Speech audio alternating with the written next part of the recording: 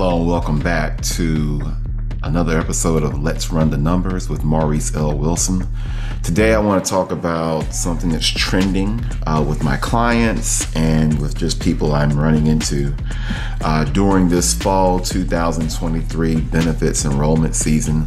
A lot of your employers, particularly at your major companies and government uh, employers, you know, state employees, teachers, uh, policemen, things of that nature. You're starting to see government workers, you're starting to see the options for a Roth 401k or similar plan.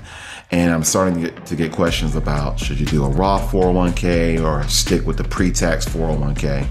So, what I like about being an engineer uh, formally and then becoming a financial advisor is that we can take these types of subjective questions and simply provide objective answers uh, simply by running the numbers. So that's why I started doing something called Let's Run the Numbers. And that is what we're going to do today.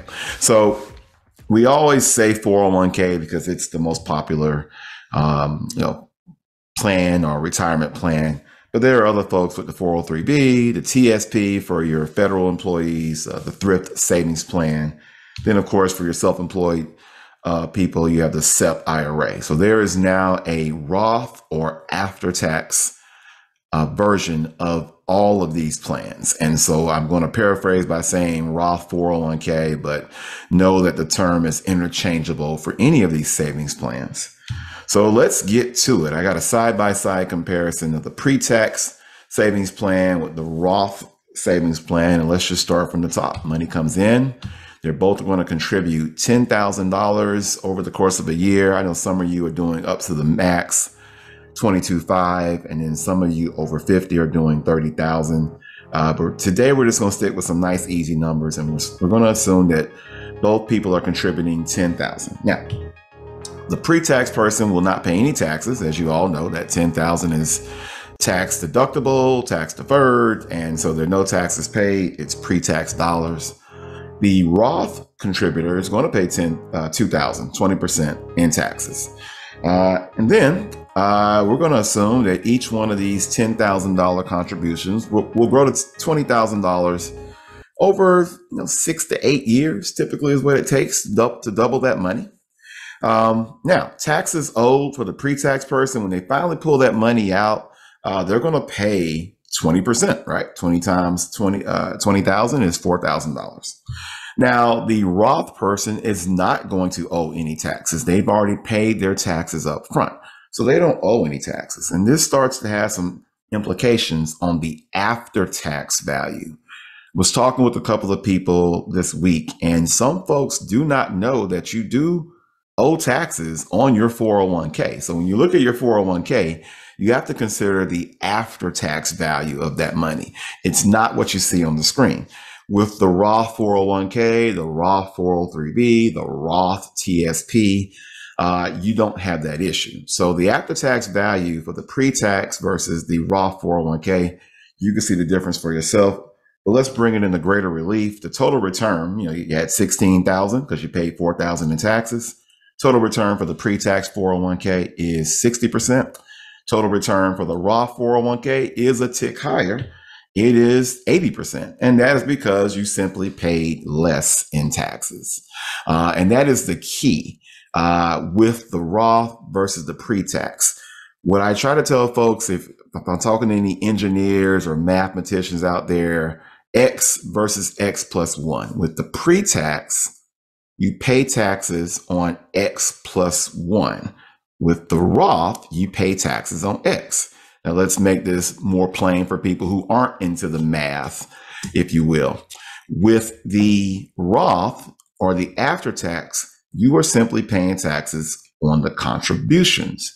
With the pre tax, you're going to pay taxes on everything, the contributions plus the growth. So taxes on 20,000 are always going to be higher than taxes on 10,000. The only way this doesn't work is if you actually lose money in your 401k. So you put put 10,000 in and you pull out 8,000. But you're still losing because you paid taxes on 2,000 and then you lost 2,000. So it's still money going out.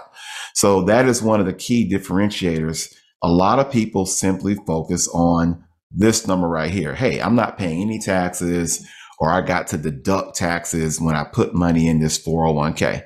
That is all true. But when it all comes out in the wash, you're going to owe more taxes because you deducted. So that's something to keep in mind.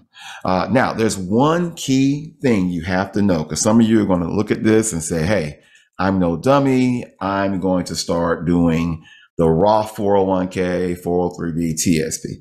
One thing you have to keep in mind when you're doing this, and that is there's a key to switching from the pre tax to the Roth savings plan. And it's simply this equal dollar contribution amounts. Because what's going to happen is if you've been deducting what you've been contributing, you're used to a certain amount in your paycheck.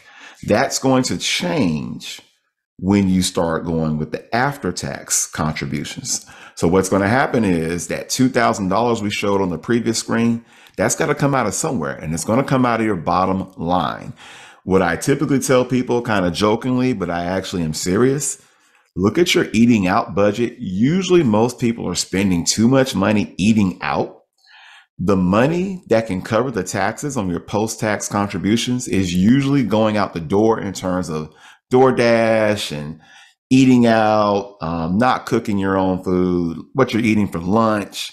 You're splurging somewhere where you can pull that money in and make equal dollar contributions. If you don't, make equal dollar contributions, then nothing we just shown today will work because you're essentially putting less money in on a post tax basis. So to be clear, if you're doing 10,000 pre-tax, you got to do 10,000 after tax. Otherwise, this doesn't work.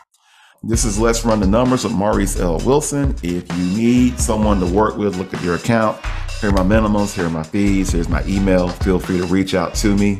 You can find me on LinkedIn, Instagram, and Facebook. Hope you have a great day, and I hope this helps. Talk to you next time on Let's Run the Numbers.